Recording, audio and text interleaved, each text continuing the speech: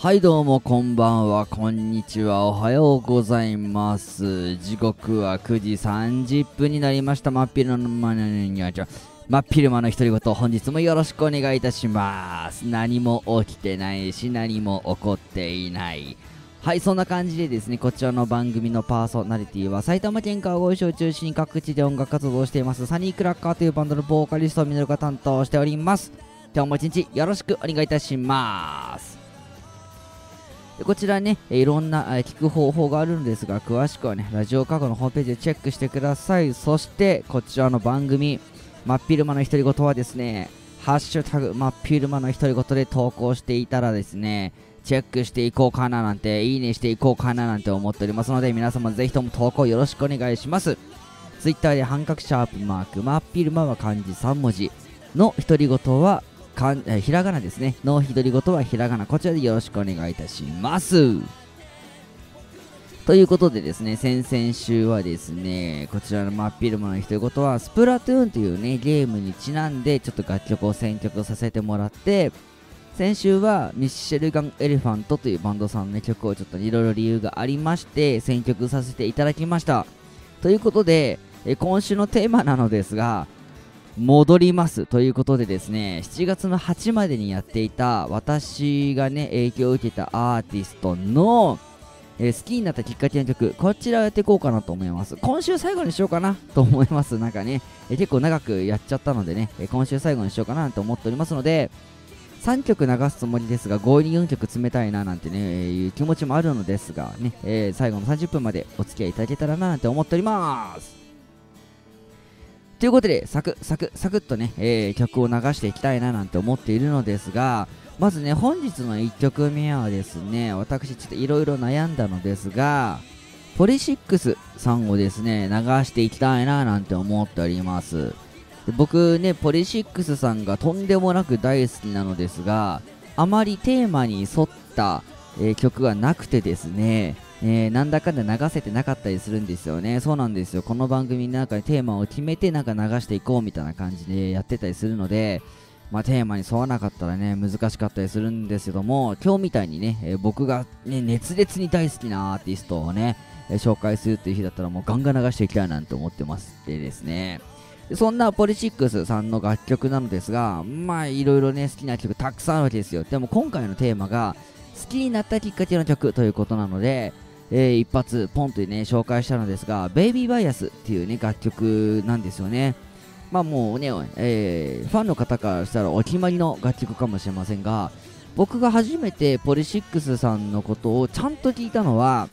えポリシックス・オア・ダイ・ビスタとかいうアルバムだったような気がします。ね、え海外向けに出たベストアルバムだったのかな当時のね。ちょっと僕もちょっと把握はしてないのですが、まあ、そのね、えポリシックス・オア・ダイ・ビスタっていうアルバムをですね買って CD 聴いたらドンツドンツドンツドンツドンツドンツドンツドンツドンツドンツドンツドンツ one two three four ワーワーワーワーみたいな感じの曲が流れてなんやなんやと思ったわけですよね。そして聞いてみたらとんでもなくポップだしとんでもなくねなんか一緒に踊りたくなっちゃうようなそんな感じだったんですよね。でいろいろ調べてみたらなんとアニメソングにも使われていたということなんですって。とあるねあのカエルが主人公のね漫画といえばいいんですかねアニメといえばいいんですかね。使われていたということなので、まあ、別の曲がなんですけどもね。なので、まあ、そのようにあ僕がねそういうところで気づかなかっただけでねポリシックスさんの音楽っていろいろ聴いていたんだななんて思いながらそのベスト版を聴いていた気がします。もうそれからですねそのねポリシックス・オア・ダイ・ビスターをですね買ってからですねずっと聴くことが始まりましてで実は僕ポリシックスさんのライブも見たことがあるんですよ。見に行ったことがあってその後大好きで。で出るアルバム出るシングルね片っ端から買っていったり過去の作品買ったりしてですねえー、ポリシックスさんにはまっていくという。でもちろんねポリシックスさんどれぐらい好きなのとかいう話だとですね僕林さんのギターが好きでですねあの林さんってね、あのー、白いギターを持ってるんですよ。もうライブとか見ていただけたらわかるのですがそれで僕もですね、林さんに憧れて、フェンダー USA の白いストラトキャスターっていうギターを買うぐらい大好きなんですよね。もう本当に好きすぎてただそのねあのギター僕人生でステージで34回ぐらいしか使ったことがなくてそれなぜかっていうとですねあの曲がねあの雰囲気が合わないとかそういうことではなくて実は僕が持ってるギターの中で一番高いんですよね。で僕のライブを見たことがある人だったらわかると思うのですが結構僕あの激しくライブするんです。特にバンドの時とか。なのでギターに傷ついたら嫌だなとか思ってですね なかなか使えてないっていうね、えー、幻のギターがあるのですが。それこそね先週流したミッシェルガン・エレファント。さんのコピーバンドを僕ね過去に2回ほどしたことあるのですがその時はそのね、あの、フェンダー USA のストラトキャスターというギターをね、使わせていただいたのですが、本当にそれ以外はですね、うん、傷つけたら嫌だなとかね、思って、ライブには持ってってないんですよね。うん。でもね、すごいいい音鳴るんですよ。すごいいい音鳴るんですよ。なので、ね、レコーディングとかでは使いたいななんて思ってるんですが、えー、意外とレコーディングでも使ってないというね、なんともね、えー、矛盾点があるんですが、まあ、そんなね、えー、思い出たっぷりのポリシックスさん、そしてその思い出をね、えー、一番最初に作ってくれたベイビーバイアス、バイベイビーバイアスっていう曲をね、えー、本日の1曲に流していこうかなと思います。ちなみにこの曲はですね、オマージュとしてですね、とある童謡を引用しているということなんですって。なので、まあ、そこもね、えー、気になったらね、どういう楽曲なのかななんて聞いていただけたら面白いかなと思います。それでは聴いてください。本日のオープニングナンバーはポリシックスさんでベイビーバイアスはいただいま聴いていただきましたのはポリシックスさんでベイビーバイアスでした。この曲ねライブバージョンのね動画とか見ると面白いんですよ。何が面白いかという話なんですがギターボーカルの林さんがですね踊って全然弾かないんですよ。ね。えー、なのでずっと手拍子とかして走り回ったりして、えー、1曲終えるっていう。でこの落ちるよっていうところがあるんですがそこの時だけ急いでマイクのところに戻って落ちるよって言っていくと。でまたそれが終わると手拍子したり走り回ったりするんですよね。というねもう視覚的に見ても楽しい曲なのですなので、ぜひともね、えー、この音源聞いてね、面白いなと思った方はですね、ライブ動画を見てみてください。そうするとですね、あ、ライブ見てみたいなってね、思うと思いますので、実際僕もそれでね、ライブ見に行ってますので、ね、そんな本日の1曲目は、ポリシックスさんで、ベイビーバイアスでした。はい、ということで、お次は Twitter のハッシュタグ、真っ昼間の独り言読んじゃうよコーナーでーパチパチパチ、どんどんパチパチ、どんどんどんどんパフパフ、ね。えという感じでですね、えー、ツイッターでですね、ハッシュタグ、真っ昼間の独り言の投稿をね、ちょっとね、えー、チェックしていこうかななんて思っております。最近なんかね、ハッシュタグとかも見ているのですが、え投稿は見たんですが、検索すると出てこないっていうのがあるんですよね。なので、僕もね、ちょっと見逃しとかあるかもしれませんが、その際はちょっとね、え申し訳ございません。はい、ではね、えー、ちょっと読んでいこうかなと思います。ツイッターネーム、シリミーダフィーラブさん、投稿ありがとうございます。ミスターミノル、こんばんは。こんばんは。ね、えー、というふうにね、えー、書いてありますね。そして、えー、みのるさんの好きなことへの情熱支持しますって書いてあります。そして、また来週というふうに書いてありますね。ありがとうございます。僕、好きなことたくさんあるんですよね。っていうとね、あれなんですけども、まあ、僕ね、あの、まずはね、音楽が好きなんですけども、まあ、もう他にもね、あのゲームが好きとかいうのも、なんとなく皆さんね、ご存知かと思うのですが、ね、僕実はですね、ウィンドウショッピングとかも好きなんですよね。あの、ウィンドウショッピングっていうとね、あれな感じがしますが、まあ、ハードオフ巡りですよね。まあ、僕、ハードオファーなのでね、えー、ハードオフが大好きなのですが、まあ、そのようにですね、その、リサイクルショップをね、いろいろ巡ってですね、えー、いろいろ買ったりとか見たりとかするだけでも幸せな気持ちになれるんですよね。そもそも僕、機材オタクとかなのでね、なんかそういうものがあるとワクワクしちゃうんですよね。うん。そんなね、えー、いろんなとこに、ね、ドライブしてハードオフとか、ね、そういうリサイクルショップ巡ってしまう僕もですね、そんな情熱も受け入れていただけたら嬉しいなと思っております。そして、えー、次の投稿見ていこうかな。ツイッターネーム小早川るかさんとかありがとうございます。えー、息継ぎのタイミングって今更ね、えー、そしておつみのテレっていう風に書いてありますね。そうなんですね。これ、ね、翌日に書いているので、えー、なので、えー、っと、放送のね、翌日に書いているということで、おそらく前日の投稿ね、見て、えー、聞いて投稿してくれたのかななんて思っておりますが、でそのようにね、えー、僕はですね、その息継ぎができないぐらい、ぶわーっと喋ったりするんですよ。特にですね、どのタイミングかというと、オープニングなんですよね。なので、オープニングのタイミングで息継ぎができなかったりするんですが、今も結構息継ぎができてない。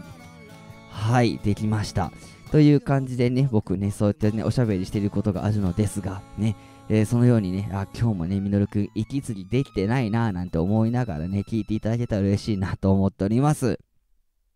はい、という感じでですね、えー、皆様の真っ昼間の一言をちょっとね、読ませていただきました。ね、えー、これからもね、またね、えー、真っ昼間の独り言、ハッシュタグね、真っ昼間の独り言読んでいこうかななんて思いますので、ぜひとも投稿よろしくお願いいたします。はい、という感じでですね、えー、2曲目に行きたいななんて思っております。私がよくラジオで流すアーティストさんの好きになったきっかけ、ね、アーティストさんを好きになったきっかけの曲を流していこうかなと。そんな2曲目はですね、アーチンファームさんをね、流していこうかなと思います。初めて知ったのはですね、えー、まだね、鍵盤がいなかった時なのですが、その後に出たアルバムでね、鍵盤のね、ミュージシャンが加わってですね、サウンドが変わったんですよね。で、そのね、鍵盤の方がいない時にも僕は好きだったのですが、なんて言えばいいんだろうな、そのアーチンファームさんのアーチンファームっていうアルバムがあって、そのね、CD を入れて再生ボタンを押した瞬間に、僕はビビビビビって感動したんですよね。なので僕がねその好きになったきっかけの瞬間っていうのはおそらくその瞬間なのかなと思っております。それがダンスダンスダンスっていう楽曲がね1曲目に入ってるんですがその曲はですねもうロックの中でピアノが入ると鍵盤が入るとなったらやっぱりこういうピアノがかっこいいよなーなんて思いながらずっと聴いていたんですよね、うん、なのでね僕はそういうのに憧れるとかね、鍵盤のロックに憧れるっていう、まあ、きっかけを作ったアーティストなのかななんて思っております。こういうロックな感じのですね。なので、ぜひとも、アーチンファームさんのですね、ダンスダンスダンスっていう曲をね、聴いていただけたらと思います。それでは聴いてください。本日2曲目は、アーチンファームさんで、ダンスダンスダンス。はいただいま聴いていただきましたのはアーチンファームさんでダンスダンスダンスでした。かっこいいですよね。僕大好きなんですけども。今ねアーチンファームさんは去年かな2022年に解散してしまってですねもう生でライブを見ることがねできないのですがこうやってね音源が残ってるのは本当に素敵だななんて思っております。またメンバーのソータさんはですね今確かバックナンバーさんのねサポートメンバーとして活躍しているはずなのでねまたそちらで、えー、彼らの音楽、ね、音を聴くことができるかななんて思っております、えー、そんな形でただいまの楽曲はアーチンファームさんでダンスダンスダンスでした。はいということでね次に流す楽曲が最後になってしまうということなのでちょっとね告知もね入れておこうかななんて思っております。私、ミノルはですね、8月30日にですね、なんと川越市にありますディパーチャーというライブハウスでイベントをします。パチパチパチ、どんどんガラガラ。ということでですね、このね、えー、ラジオ収録している時はですね、えー、ほぼ何も決まっていない状態なのですが、ね、でもこのね、8月30日はですね、あの、とても心強い、えー、仲間がですね、いろいろ、え一緒に、えイベントを作ってくれているのでですね間違いなく素敵なイベントになること間違いない間違いないって何回も言ってますねのでねぜひともね遊びに来てほしいななんて思っております僕はですねなんかこのね、あの最近川越でやってるイベントなのですが、配信というものをですね、最近やり出しまして、うん、配信って難しいなって思ってますね。あのどこ見て話せばいいのかっていうのはもちろん、ね、カメラ見て話せばいいのですけれども僕ってね、本当にその、なんて言えばいいんだろう、ライブ会場に来ている方に対してのライブをするっていうのを、もう癖になりすぎちゃっていてですね、目の前に見えない方に対してどうライブをすべきなのかみたいなのが僕の中でかなり未だに課題なんですよね。なので、まあ、少しずつだと思うのですが、変わっていくかなと思いますので、その過程もぜひとも楽しんでいただけたらななんて思っております。よろしくお願いいたします。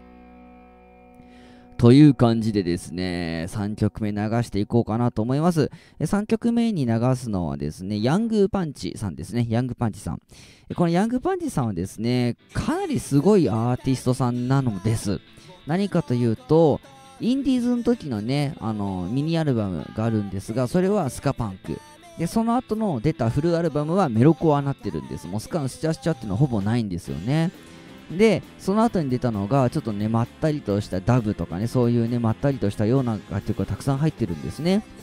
で、その後にメジャーデビューした時は、もうポップロックというかロックな感じになってるんですよね。で、その後に出たアルバムがなんとテクノになっているっていう、どの時代を聴くかによってイメージがガラッと変わるアーティストさんなんです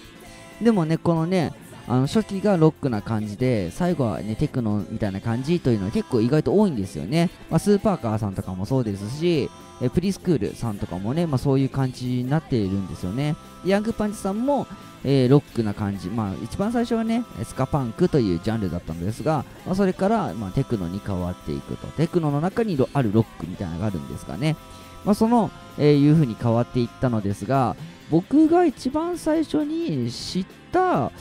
ヤングパンチさんはメジャーデビューの後かななんて思っています。確かディスコニスタっていうね、アルバムがあるのですが、おそらくそのアルバムが出会いだったのかななんて思うのですが、ちょっとね、自信がないのですが、ただですね、えこのね、あのディスコニスタっていうアルバムの1曲目に入ってあるガンズイックって読むのかな ?GUNSIC ね、えー、そういうね、えー、曲があるんですが、この曲に僕は大変感動した記憶しかないんです。これはもう、いつ聴いても何回聴いても感動する楽曲なんです。このね、なんかライブ版みたいな感じの曲の入り方からスタートするのですが、でその後に、あのー、ベースのデンデンデンデンデンデンっていうね、テクニカルなフレーズが入るんですよ。で、サビがバーンって入って、でその後にね、あの A メロに戻るわけなんですが、なんか早口の掛け負いのみたいなね、感じの曲が始まるんです。で、その後にサビがボーンってくるんですが、このサビに入った瞬間の爆発力が半端ないんですよね。なので、えー、そこのね、えー、感じをですね、ガツンと受け取っていただけたらなと思います。僕はこのヤングパンチさんのね、ディスコニスタっていうのは僕の中でのね、人生を語る名盤の一つに入ってもいいっていうぐらい大好きなアルバムなので、ぜひとも聴いてほしいなと思います。それでは聴いてください。ヤングパンチさんで、ガンゼイク。はい、ただいま聴いていただきましたのは、ヤングパンチさんで、ガンゼイクでした。いや、かっこいいですね。僕はこの曲で痺れたわけですよね。うん、ぜひともね、もっともっといろんな人に聴いてもらいたいし、知ってもらいたい、そんな、えー、アーティストさんです。はい、ということで残りは、エンディングトーク、そして切れてゆく独り言が残っております、ね、まずはエンディングトークということでですね、えー、今日もですね皆様にとって何かに新しい発見とか新しく知ったアーティストさんがいたら嬉しいななんて思っております、ね、ポリシックスさんとアーチンファームさんとヤングパンチさんですね、まあ、現役でね今ねやっているのはポリシックスさんだけなのですがぜひともね、気になったら、えー、YouTube とかね、いろいろサブスクとかありますので、チェックしていただけたら嬉しいななんて思っております。もちろん、私もですね、えー、サニークラッカーというバンドやっているのですが、YouTube とか、サブスク、Apple Music とかね、いろいろと、えー、載っておりますので、検索していただけたら嬉しいななんて思っております。またね、えー、この動画もですね、YouTube でですね、アーカイブとしてね、また放送載せていきますので、そちらもチェックしていただけたら嬉しいななんて思っております。これからね、切れていく独り言というコーナーがあるのですが、YouTube の方ではフルで載っていますので、ぜひともチェックしてほしいななんて思っております。そんなこちら、真っ昼間の独り言、ね、番組のパーソナリティはサニークラッカーというバンドのボーカリスト、ミノルが担当しておりました。また来週も独り言に付き合ってください。バイバーイ。はい、ということで残りの1分は切れてゆく独り言のコーナーです。どのタイミングで切れるかはその日次第ということで、皆様この切れていくのをですね、楽しんでいただけたらいいかななんて思っております。ということで、最近はですね、私、中華の食べ放題に行ってきました。ね、え川越市にもね、できたのですが、そのどとあるね、中華の食べ放題に行ってきたのですが、いやこれがですね、なかなか食べ応えがありまして、ね、一個一個がですね、そんな多くなくてですね、そのちょっとのね、量をいろんな方法で食べるんですね。なのでですね、僕もね、えー、かなりね、満足感もあったのですが、こんな食べ物美味しいよとかありましたら、ぜひともご連絡ください。ちなみに僕はチャーハンが大好きです。という感じで皆様また来週会いましょう。さよなら、バイバーイ。